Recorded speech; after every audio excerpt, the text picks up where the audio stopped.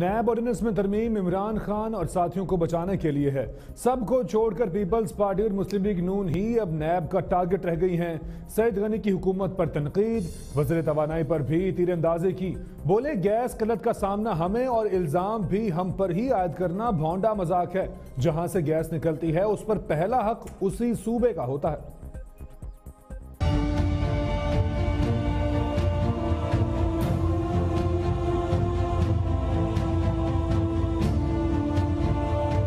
بجائے اس کے کہ نیب کے قانون میں وہ ترامیم کی جاتی جس کی وجہ سے ہر شخص مصیبت میں ہے، جس کی وجہ سے عزت دار لوگوں کی عزتیں اچھالی جاتی ہیں۔ غلط طریقے سے لوگوں کو جیلوں میں ڈالا جاتا ہے، ریمانڈ لیا جاتا ہے۔ وہ چیزیں تو نہیں تبدیل کی گئی ہیں۔ انہوں نے کیا یہ ہے کہ آفیسرز جو ہیں، سرکاری، ان کے لیے کچھ چیزیں چینج کر دی ہیں۔ بزنس کمیونٹی کو اس سے نکال دیا ہے۔ پی ٹی آئی جو ہے، علیمہ باجی جو ہیں اور پی ٹی آئی کے جو اتحادی ہیں، وہ پہلے ہی نیب کے دائرے سے باہر ہیں۔ تو پھر رہ کیا جاتا ہے؟ رہ جاتی ہے پیپلز پارٹی اور پی ایم ایل این، جن کے لیے نیب نیب کا دائرہ اختیار ہے اور وہ نیب کا قانون ہے۔ تو میں یہ سمجھتا ہوں کہ اس طرح سے اگر نیب کے قانون کو استعمال کرنا ہے تو یہ ایک بہت بڑا مذاق ہے اور بہت بڑی زیادتی ہے۔ مطلب اس سے بڑا بھونڈا مذاق اور کیا ہو سکتا ہے؟ کہ ایک وفاقی وزیر یہ کہے کہ اس ملک میں یا صوبہ سندھ میں گیس کی جو قلت ہے، جو لوگوں کو گیس نہیں مل رہی، جو لوگوں کے گھروں میں چولہے نہیں چل رہے ہیں، جو انڈسٹریز ہماری نہیں چل رہی ہیں سی این جی کے اسٹیشنز پتہ نہیں کتنے دنوں بعد کل کھولے گئے، آٹھ گھنٹے بعد وہ پھر بند کر دیے گئے ہیں۔ کسی شعبے میں گیس ہمیں نہیں مل رہی ہے اور الزام جو ہے وہ صوبائی حکومت پر ڈال دیں۔